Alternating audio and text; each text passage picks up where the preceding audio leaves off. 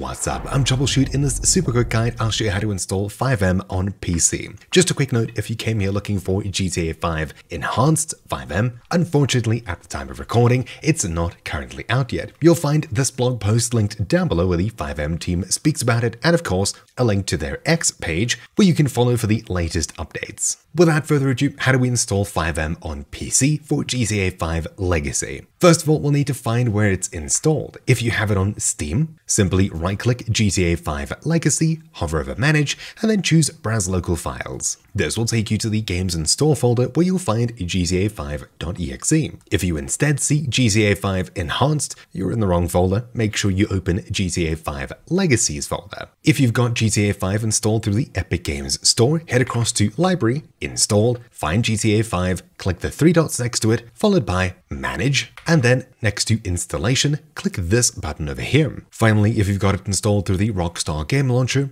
open up the launcher, then click Settings in the top right, followed by GTA 5, scroll down, and you'll find View Installation folder, click Open here. Now that we know where the game's installed, all we need to do is click the FiveM link down below, then choose Download Client. Once you've read this, click I agree, wait for the download to complete, then open it up once it's done, and it'll start updating FiveM. Then this window should open up, asking us where GTA 5 is located, if it can't find it, automatically that is. For me, I opened my path through Steam in the previous step. All that we need to do is look up here on the title bar, right click anywhere, and choose copy address. Then, inside of this open window, at the very top, click in an empty space, right click and paste. Then hit enter and it'll be taken straight to this folder. Choose GTA5.exe and click open. Now it'll start verifying our game files and shortly after, we'll get a pop-up like this saying we need to update local game data. Simply just choose yes and a 600-ish megabyte download will be started. Once it's done patching, it'll start FiveM's launcher, assuming we're already logged in with FiveM. If not, sign in now. Using your Rockstar details will eventually launch into FiveM. Then you can choose to sign in with your cfx.re account or skip this if you wish. This only allows you to participate in server reviews and upvote. For now I'll skip, but we can always link in settings later. If the menu's super loud, click settings in the top right, followed by interface, and then make sure main menu audio is unticked. There we go. All that's left to do is join your favorite server and get roleplay. Just keep in mind when you join servers, oftentimes many mods will be downloaded with varying file size and it could take quite some time, especially the first time you join a server. But that's it. Hopefully you found this video useful. Thank you for watching. My name's been TroubleChute and I'll see you all next time. Ciao.